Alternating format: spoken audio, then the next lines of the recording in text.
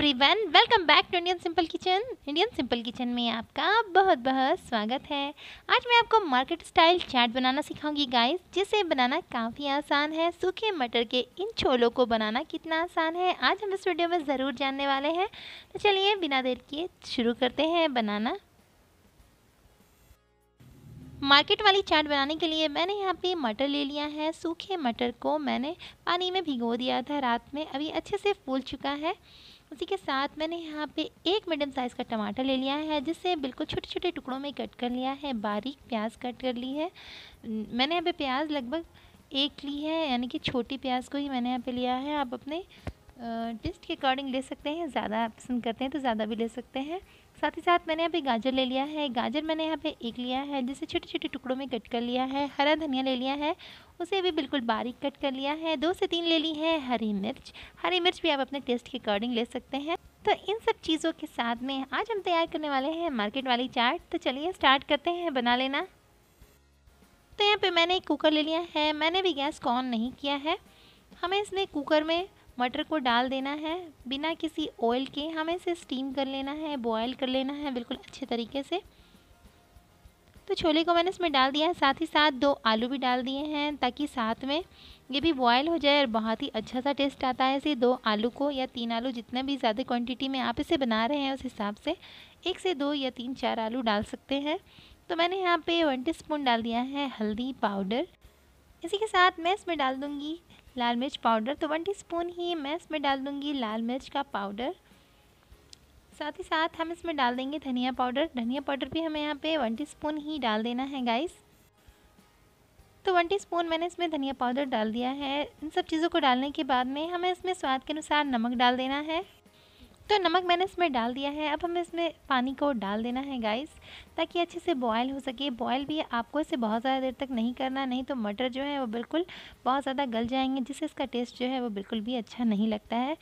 तो मटर आलू को बिल्कुल अच्छे से डूबने तक हमें इसमें पानी डाल देना है। पानी को डालने के बाद में अच्छे से इसे मिक्स करते हुए मैं इसमें कुकर का ढक्कन लगा दूँगी और तीन से चार सीटी आने तक इसे लो टू मीडियम फ्लेम में पका लूँगी।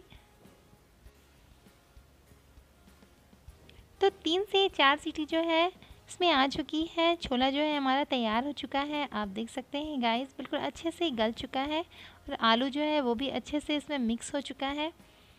तो हमें इसकी जो कंसिस्टेंसी है, वो इतनी ही रखनी है। बहुत ज़्यादा पतला भी नहीं होना चाहिए, ना ही बहुत ज़्यादा थिक होना चाहिए। तो मैंने इसे मिक्स कर दिया है। गैस को मैंने यहाँ पे ऑफ़ कर दिया है। अब यहाँ पे थोड़े सूखे मसाले जो है, हमें इसमें ऐड कर देने हैं। तो सबसे पहले मैं इसमें डाल दूँगी काला नमक। तो मैंने यहाँ पे ब्लैक सॉल्ट डाल दिया है, लगभग वन टीस्पून तो अब मैं इसमें डाल दूँगी काले मिर्च का पाउडर तो वन टीस्पून मैंने यहाँ पे काले मिर्च का पाउडर डाल दिया है।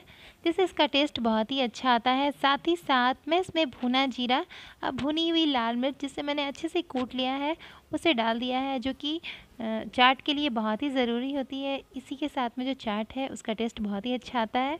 सारे मसालों को डालने के बाद में मैं यहाँ पे फाइनली डाल दूँगी टमाटर। तो टमाटर को मैंने इसमें डाल दिया है। साथ ही साथ मैंने यहाँ पे हरी मिर्च भी डाल दी है, गाजर भी डाल दिया है। और अब मैं इसमें डाल दूँगी प्याज।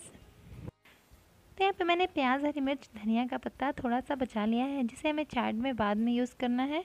सारी चीज़ों को डालने के बाद में अच्छे से छोले को मिक्स कर लेना है मसालों के साथ में। तो मैंने इसे बहुत ही अच्छे से मिक्स कर लिया है। आप देख सकते हैं, इसका कलर जो है बहुत ही अच्छा आया है और काफ़ी अच्छी सी खुशबू आ रही है इसमें। तो छोला जो है हमारा बिल्कुल रेडी हो चुका है मार्केट से भी ज़्यादा अच्छा। इस तरीके से घर पे एक बार घरेलू तरीके से चाट को बनाकर देखें, बहुत ही अच्छा लगता है। तो मैंने चाट को गर्मा गर्म सर्व कर दिया है गाइस अब साथ ही साथ, अब मैं इसमें डाल दूँगी लाल चटनी। लाल चटनी की रेसिपी जो कि इमली और गुड़ से बनाई जाती है, आप मेरे चैनल में देख सकते हैं इसकी वीडियो तो मैंने इसमें लाल चटनी डाल दी है। साथ ही साथ, अब मैं इसमें डाल दूँगी ग्रीन चटनी जो कि चाट के लिए बहुत ही ज़रूरी होती है। इसकी भी रेसिपी आप मेरे चैनल पर देख सकते हैं गाइस तो सारी चीज़ों को डालने के बाद में, अब मैं इसमें फिर से सूखे मसाले जो हैं उसमें ऊपर से स्प्रिंकल कर दूँगी। तो मैंने यहाँ पर भुनी हुई लाल मिर्च और जीरा दोनों को ऊपर से फिर से डाल दिया है। साथ ही साथ धनिया का पत्ता, हरी मिर्च, प्याज, इन सब चीज़ों को भी ऊपर से डाल दिया है। आप चाहें तो थोड़ा सा काला नमक फिर से स्प्रिंकल कर सकते हैं।